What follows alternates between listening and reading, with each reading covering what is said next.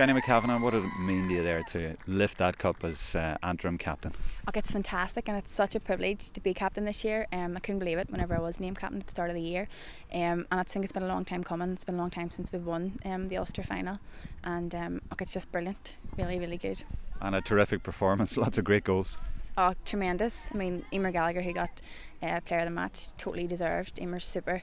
She places the ball very well and she's got a super left foot on her. Um, yeah, the girls just took their points very well. Were you a bit concerned though because they come back and they scored two brilliant goals. The first one I had to say was probably the goal of the game. Oh, totally, yeah. Um, I think the girls maybe got slightly complacent, um, and Derry just came at us. Um, and fair play to them because they did, and they put the two put the two goals away very, very well. You said that Antrim are sort of on the way back. Has there been a lot of work, and what's happening this year? Yeah, yeah. We're hopefully we're um, that's obviously our hopefully our first um, silverware of the year. Um, we're hoping to go on and progress through the All Ireland series. Um, and we've been working very hard and getting a lot of girls out to training. Um, and we've been the preparation has been really really good for this.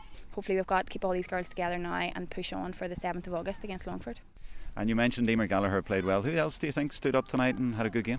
I think we played well as um, as a team. There's a lot of young girls coming through, a lot of minors were, were there tonight. The two um, Devlin twins just worked their socks off, and um, a lot of girls are out there to prove and try and win their positions. Um, so everybody fought a good battle, I thought, today.